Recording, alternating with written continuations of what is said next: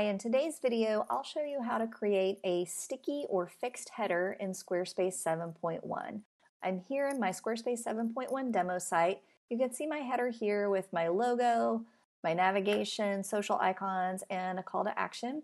And as I scroll, you'll notice that you don't see my header. It moves with the page. If I want to change that, it's pretty simple to do. You just click Edit, then click Edit Site Header, and under Style, turn on fixed position.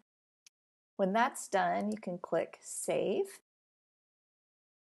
And now when I scroll my page, you'll notice that my header stays in position as I scroll down my page. It's as easy as that. So you have a very simple choice to make in 7.1 if you want the style of a moving header or a fixed or sticky header.